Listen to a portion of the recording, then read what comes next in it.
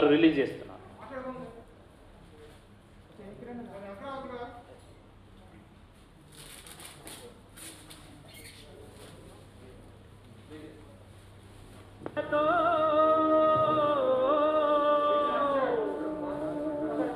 ఉద్యమకారుల ఆకాంక్షలతో మొదలవుతుందదిగో ङ्ग्रामम् प्रजा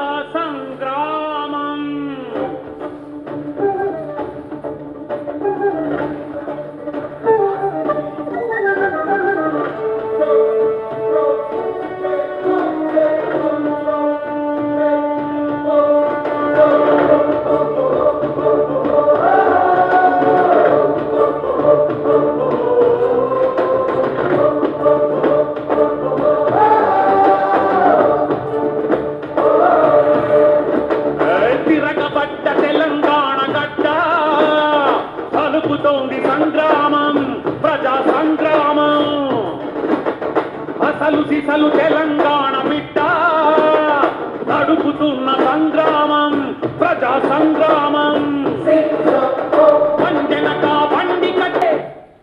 రెండవది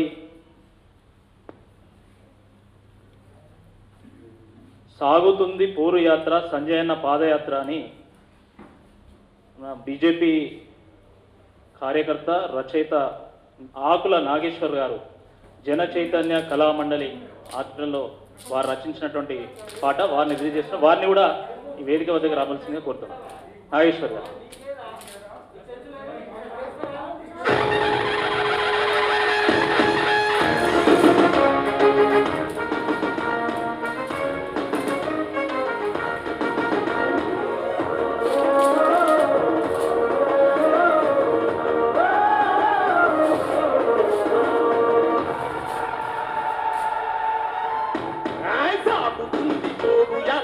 యాత్ర సంజయన్న పాదయాత్ర జనం గుండ చైత్ర యాత్ర ప్రజా సంగ్రామ యాత్ర సంగ్రామ యాత్ర ప్రజల కొరకు ప్రగతి కొరకు తెలంగాణ భవిత కొరకు బండి చేసే దండయాత్ర ప్రజా సంగ్రామ యాత్ర సంగ్రామ యాత్ర ఊరువాద పుడుకుతుంది ఉప్పెపై ఉరుముతుంది నియంతృత్వ అవినీతి కుటుంబ పాలన కూర్చగా మూడవది బండెనక బండి కట్టి బీజేపీ జెండా కట్టి అని గాయకుడు నల్గొండ గద్దర్ గారు పాడినటువంటి పాట వారే రచన చేసి సంగీతం సమకూర్చారు. ఆ మూడో పాటను రిలీజ్ చేయాల్సిందిగా జయశాంతి గారు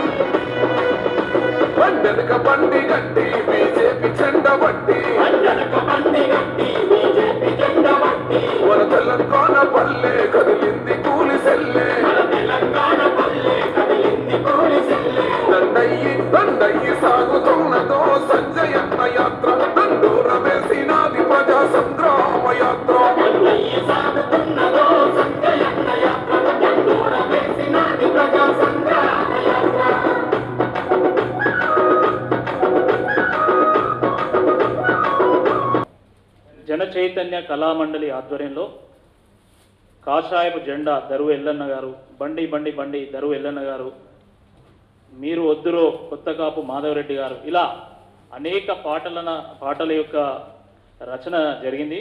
జన చైతన్య కళామండలి ఆధ్వర్యంలో వాటి అన్నింటినీ కూడా పుస్తక రూపంలో ఈరోజు విజయశాంతి గారు రిలీజ్ చేస్తున్నారు.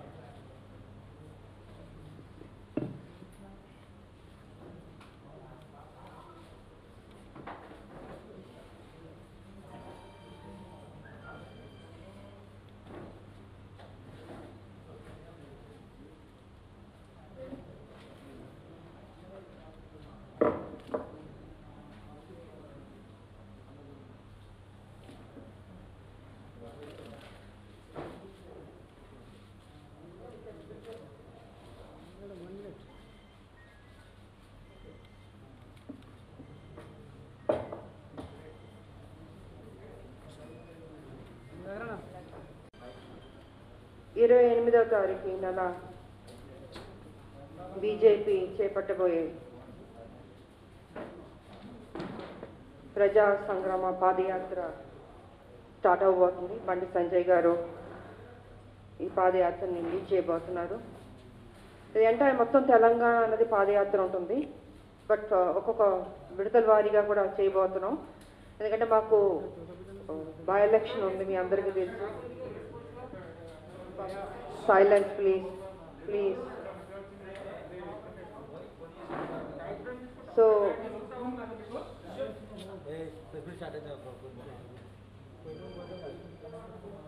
మాట్లాడమంటారా? అయిపోయిందా? థ్యాంక్ యూ సో ఈ పాదయాత్రకు ముందు ఈ సాంగ్స్ రిలీజ్ చేయడం జరిగింది. అద్భుతమైన లిరిక్స్ అద్భుతమైనగా పాడిన వారు సింగర్స్ గారు అందరికీ అభినందనలు తెలియజేస్తున్నాను. ఈ పాట అన్నది ఒక ఎమోషన్గా ఉంది. ఎందుకంటే కొన్ని సందర్భాల్లో ఎమోషన్ సాంగ్స్ అన్నది చాలా గుండెకు హత్తుకుంటుంది. మన కర్తవ్యం ఏంటి? మన బాధ్యత ఏంటి అని ఒకసారి మనకు గుర్తు చేస్తుంది. సో ఎలక్షన్స్ ముందు కొన్ని పాటలు రిలీజ్ చేస్తుంటారు. బట్ మేము ఇప్పుడు పాదయాత్రకు ముందు ఈ యొక్క సాంగ్స్ అన్నది రిలీజ్ చేసాం ఇది ఎంటైర్ తెలంగాణ కూడా బాగా రీచ్ అవుతుంది. మారుమూల గ్రామాలకు కానీ తాండాలకు కానీ మండలాలకు కానీ జిల్లాలకు కానీ అన్ని చోట్ల కూడా బాగా రీచ్ అవుతుంది ఇది. మనం ఎప్పుడు ఏం మాట్లాడినా అది మర్చిపోతాం. కానీ పాటలు అన్నది తరతరాలుగా గుర్తుండిపోద్ది. ఆ విధంగా ఇవాళ ఈ యొక్క పాటలు విన్నాను. చాలా బాగున్నాయి. బాగా రాశారు అందరూ. వారందరూ కూడా నా అభినందనలు. డీటెయిల్స్ అంతా ఇచ్చారు మీకు. వారందరూ కూడా నా అభినందనలు తెలియజేసుకుంటున్నాను. అండ్ ఈ పాదయాత్ర కూడా డెఫినెట్గా సక్సెస్ అవుతుంది. దేనికి పాదయాత్ర అంటే ఈ ఏడేళ్ళలో కేసీఆర్ గారు చేసిన అవినీతి పరిపాలన ఏ రకంగా ఉంది? ఏ రకంగా ప్రజలను మోసం చేశారు? ఏ రకంగా దోచుకుని తింటున్నారు? అన్న దానికి ఒక పాదయాత్ర అన్నది చాలా ఇంపార్టెంట్. ఒక మంచి డిసిషన్ తీశారు ఇవాళ సంజయ్ గారు కానీ పార్టీ కానీ ప్రజల్లోకి వెళ్ళడం వల్ల ప్రజల సమస్యల్ని డైరెక్ట్గా మనం కనుక్కుంటాం చెప్తాం. వాళ్ళు చెప్తారు మనం వింటాం. ప్లస్ రికార్డ్ కూడా చేసుకుంటాం మనం. ఎందుకంటే రేపు ఆల్టర్నేట్ అన్నది బీజేపీ ఒకటే అవుతుంది. బీజేపీ తెలంగాణకి సేఫెస్ట్ పార్టీ అవుతుంది ఇవాళ. ఇవాళ కాంగ్రెస్ కావచ్చు టీఆర్ఎస్ కావచ్చు ఒక దోపిడీ పార్టీలు ఏ రకంగా దోచుకున్నారో గతంలో చూస్తారు ఇప్పుడు చూస్తున్నారు. వీళ్ళ వల్ల ఏ ప్రయోజనం లేదు. ఒక డిసిప్లిన్ ఒక పద్ధతి ఒక పరిపాలన ఒక అడ్మినిస్ట్రేషన్ తెలిసిన పార్టీ బీజేపీ పార్టీ అవుతుంది.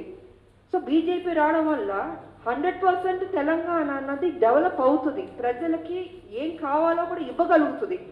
ఇవాళ కేంద్రం ఎన్ని స్కీమ్స్ ఇచ్చినా కూడా ఇక్కడ పబ్లిక్లోకి వెళ్తలేదు. ఎందుకంటే కేసీఆర్ గారు టీఆర్ఎస్ ప్రభుత్వం అడ్డుకుంటుంది. సో ఏ రకంగా ఏం చేయగలుగుతాం? నా స్టేట్ నా ఇష్టం అన్నట్టు కేసీఆర్ గారు ప్రవర్తిస్తున్నారు. మరి ఆయన అరాచకం వల్ల ఏది మంచి చేయలేకపోతున్నాం. రీచ్ అవ్వట్లేదన్న బాధ నాకుంది. తెలంగాణ కొట్లాడిన మనిషిగా తెచ్చుకున్న మనిషిగా ఒక ఉద్యమకారునిగా ఇవాళ హండ్రెడ్ పర్సెంట్ డెలివరీ అవ్వట్లేదు ఇక్కడ తెలంగాణలో. మేము అనుకున్న తెలంగాణ రాలేదు జరగట్లేదు. బాధగా ఉంది. మరి ఈ బాధలు పోవాలన్నా ప్రజలకు మేలు జరగాలన్నా అదొక బీజేపీ పార్టీ వల్లే సాధ్యం అవుతుంది అండ్ సేఫెస్ట్ పార్టీ తెలంగాణలో. కాబట్టి నేను ప్ర ప్రజలకు కూడా చెప్తుంది ఏంటంటే ఏడేళ్ళు పరిపాలన చూస్తారు ఎన్ని నష్టాలు ఎన్ని కష్టాలు అనుభవిస్తారు మీ అందరికీ తెలుసు. ఈసారి రాబోయే ఎన్నికల్లో మనస్సు పెట్టి బీజేపీని ఎన్నుకోండి మీకు అంతా మంచి జరుగుతుంది. సో దానికి ఇవాళ ఈ యొక్క పాదయాత్ర అన్నది చాలా ఇంపార్టెంట్ ఇరవై ఎనిమిదో తారీఖు నుంచి మొదలవబోతుంది. అండ్ ఈ పాటలు అన్నది కూడా బీజేపీ కార్యకర్తలు మారుమూల గ్రామాలకు అన్ని చోట్లకు తీసుకెళ్ళాలి. పెద్ద సక్సెస్ అవుతుంది. చక్కటి పాటలు మంచి లిరిక్స్ ఉన్నాయి. మీనింగ్ ఉంది. అంటే ఏడేళ్ళు పరిపాలన ఏమేమి తప్పులు చేశాడన్నది టోటల్గా పాటల్లో వివరించి చెప్పడం జరిగింది రాయడం జరిగింది వాళ్ళు. కాబట్టి ఇది పెద్ద సక్సెస్ అవుతుందని కూడా తెలియజేసుకుంటూ ఇంకొక టూ ఇయర్స్ ఇంకా ఎలక్షన్స్ రాబోతున్నాయి. మరి ఎలక్షన్స్లో తప్పకుండా బీజేపీ గెలుస్తుందని మా అందరికి నమ్మకం మేము కష్టపడి పనిచేస్తున్నాం ఈ బై ఎలక్షన్లో కూడా బీజేపీయే గెలుస్తుంది. దాని నో డౌట్ పాపం కేసీఆర్ గారికి మైండ్ బ్లాక్ అయినట్టుంది. ఆయన ఏం చేస్తున్నాడు? అన్ని బంధులు బంద్ బంద్ బంద్ ఆ బంద్ ఈ బంద్ ఈ బంద్ అంటున్నాడు ఆయన పాపం. బ్యాలెన్స్ తప్పింది ఆయనకి. అండ్ ఫ్రస్ట్రేషన్లోకి వెళ్ళిపోయాడు కేసీఆర్ గారు. దాన్ని బట్టి అర్థమవుతుంది. ఆయన బై ఎలక్షన్లో ఓడిపోతాం ఈటల రాజాని గెలుస్తాడని అనవసరంగా రాంగ్ డిసిషన్ తీసాను అనుకుంటున్నాడు కేసీఆర్ గారు. కాబట్టి మీరు రాంగే. మీరు రైట్ పర్సన్ కాదు.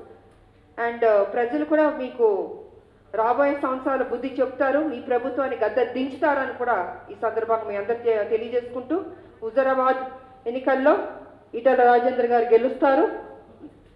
అండ్ విజయం సాధిస్తాం. బీజేపీకి రాబోయే సంవత్సరాలు మంచి రోజులు. బీజేపీ అధికారంలోకి వస్తుంది ట్వంటీ త్రీ ట్వంటీ ఫోర్లో తెలంగాణలో కానీ రాష్ట్ర ఇండియాలో మొత్తం బీజేపీ వస్తుందని కూడా తెలియజేసుకుంటూ నాకు ఈ అవకాశం ఇచ్చిన అందరికీ కృతజ్ఞతలు తెలియజేసుకుంటూ సెలవు తీసుకుంటున్నాను. థ్యాంక్ యూ అందరికీ నమస్కారం. ఈరోజు ఎప్పుడు ఎప్పుడు ఎప్పుడు అన్నట్టుగా అందరూ కూడా ఈ ప్రజా సంగ్రామం కొరకు ఎదురు చూస్తూ ఉన్నారు. ఆ యొక్క ఇరవై ఎనిమిది వచ్చేసింది. కొద్ది గంటల యొక్క తేడాలోనే ఆ యొక్క యాత్ర ప్రారంభం పోతా ఉంది. ఇది కేవలం సంగ్రామ యాత్రమే కాదు ప్రజా సంగ్రామమే కాదు ఇది మహా సంగ్రామంగా మారబోతోందని చెప్పని నేను సందర్భంగా పేర్కొంటా ఉన్నా. ఇక పోతే రాష్ట్ర ముఖ్యమంత్రి తన రాజకీయ కుళ్ళు బుద్ధిని మానాలి. అనేక రకాల ప్రకటనలు చేస్తూ ఉన్నాడు.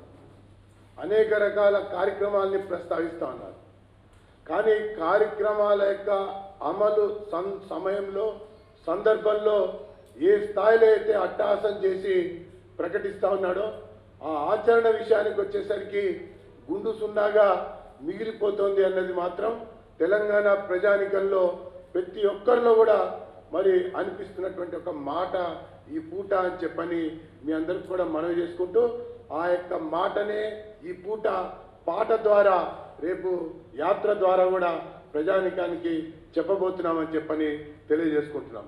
ఒక చిన్న విషయం చూసినట్టయితే ఈ యొక్క అగ్ర కులాల్లోని పేదలకి రిజర్వేషన్లకు సంబంధించి మరి జీవో జారీ చేశామని చెప్పని చెప్పడం జరిగింది. ఒకవైపున కేంద్రమేమో పంతొమ్మిది జనవరిలో రెండు వేల పంతొమ్మిది జనవరిలో ఆ యొక్క జీవో తీసుకొచ్చి దేశవ్యాప్తంగా అమలు చేయమని చెప్పారు. చెప్పిన తర్వాత అనేక రాష్ట్రాల్లో అమలు జరగటం వల్ల కొన్ని లక్షలాది మంది మరి నిరుద్యోగులకి ఉపాధి అవకాశాలు ఆ యొక్క రిజర్వేషన్ ద్వారా ఒకవైపున లభిస్తే విద్యా అవకాశాలు కూడా కొన్ని వేల మందికి అవకాశాలు లభించినటువంటి మాట కూడా మనం చూసాం కానీ తెలంగాణ రాష్ట్రంలో ఉన్నటువంటి అగ్ర కులాల్లో ఉన్నటువంటి పేదలకు మాత్రం ఆ యొక్క రెండు ఆర్థిక విద్యా సంవత్సరాల్లో ఆ యొక్క రిజర్వేషన్లు అమలు జరగనీయకుండా చూసినందుకు ఈ కేసీఆర్ గారు మూల్యం చెల్లించవలసి వస్తుందని చెప్పని నేను పేర్కొంటా ఉన్నా. ఇకపోతే ప్రధానమంత్రి ఆవాస్ యోజన ఎందుకు ఈ యొక్క విషయం చెప్తున్నా అంటే ఇందాక విజయశాంతి గారు చాలా స్పష్టంగా చెప్పారు. కేంద్రం పెడుతున్నటువంటి పథకాలు ఈ రాష్ట్రంలో అమలు జరగటలేదు ఒకవైపున రాజకీయంగా విభేదించేటువంటి మమతా బెనర్జీని చూసి బుద్ధి తెచ్చుకోవాలి. ఒరిస్సా ముఖ్యమంత్రి నవీన్ పట్నాయక్ని చూసి బుద్ధి తెచ్చుకోవాలి. మహారాష్ట్ర ముఖ్యమంత్రి యొక్క ఠాక్రేని చూసి బుద్ధి తెచ్చుకోవాలి. రాజకీయంగా పార్టీలు వేరు కావచ్చు. కానీ పథకాలకు సంబంధించినటువంటి అమలు విషయంలో కావచ్చు. లేదా కేంద్ర ప్రభుత్వం అందిస్తున్నటువంటి ఒక కార్యక్రమాల్ని ఆ రాష్ట్రంలో ఆ ప్రజానికానికి అమలు చేయడం ద్వారా ఎంతో కొంత ఉన్నతికి ఉన్నత ప్రగతికి దోహదం చేసేటువంటి ఒక కార్యక్రమాల్ని ఈ తెలంగాణలోనే నీరు గారుస్తున్నారంటానికి ఉదాహరణ ఈ యొక్క ఈడబ్ల్యూఎస్ ఒకటైతే ఆయుష్మాన్ భారత్. ఈయన ప్రకటించారు అమలు చేస్తామని.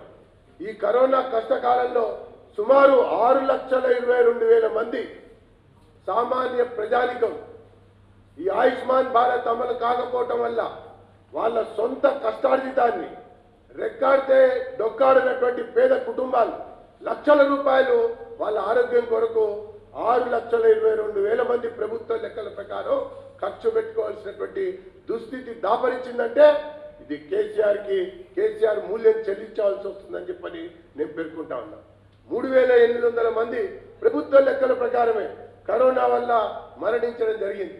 ఇదే ఆయుష్మాన్ భారత్ అమలు జరిగింటే ఆ పేదవాడి యొక్క కష్టం పేదవాడి యొక్క కష్టార్జితం మిగిలేది ప్రభుత్వమే వాళ్ళని ఆదుకునేటువంటి ఒక పరిస్థితి వచ్చేది. ఇతర రాష్ట్రాల్లో పొందుతున్నటువంటి ఒక పథకం ఈ రాష్ట్రంలో పొందలేకపోయిందంటే కేసీఆర్ యొక్క రాజకీయ కుళ్ళు బుద్ధి వల్లనే ఇది జరిగిందని చెప్పని నేను పేర్కొంటా ఉన్నా. ఇకపోతే ప్రధానమంత్రి ఆవాస్ యోజన.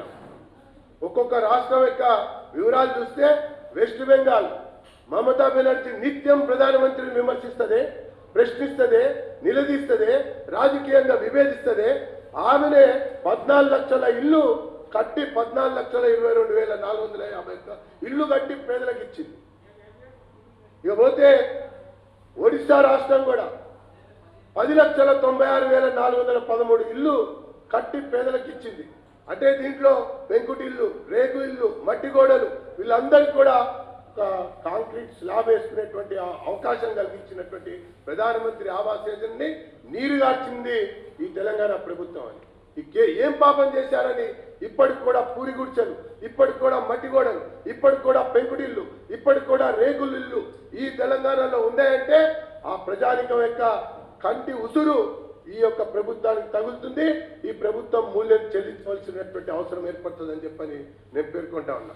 ఇకపోతే ఈ యొక్క ఆయుష్మాన్ భారత్ ప్రధానమంత్రి ఆవాస్ యోజన ఇకపోతే ఇంకొక సంబంధించినటువంటి విషయం చూసినట్టయితే వ్యవసాయ పంపు సెట్లు. దేశంలోనే అత్యధిక శాతం బోర్వెల్లు ఉన్నటువంటి రాష్ట్రం తెలంగాణ రాష్ట్రం.